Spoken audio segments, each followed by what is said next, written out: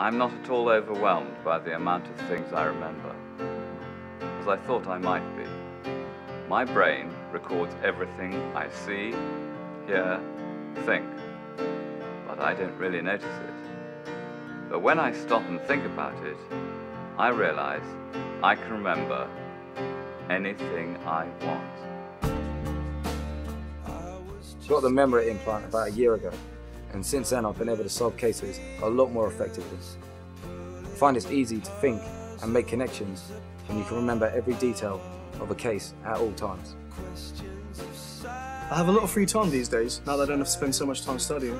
All I have to do is read through the material once, and it just stays in my head. I used to spend so much time learning my lines, and that's why I got myself a memory chip.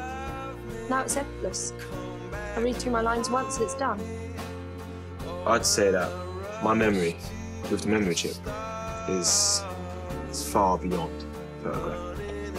I could recite Hamlet, the whole thing, word for word.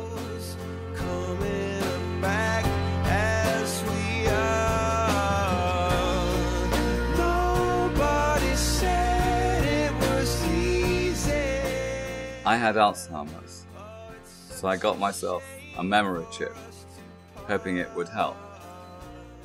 It did. In fact, it completely cured me.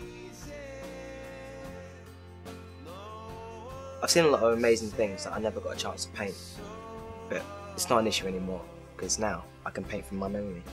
It's precisely as I like.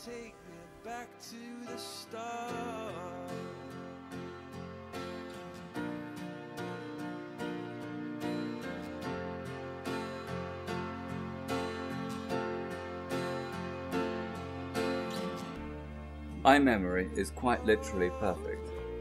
There's absolutely nothing I can't remember.